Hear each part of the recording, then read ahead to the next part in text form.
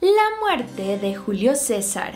En el 51 a.C., la idea de que Julio César y Cleopatra gobernaran no era muy bien recibida por su imperio. Es así como después de un tiempo, varios de sus amigos comenzaron a orquestar un plan para acabar con la vida del gobernador. La ejecución de este plan se llevó a cabo el 15 de marzo del 44 a.C.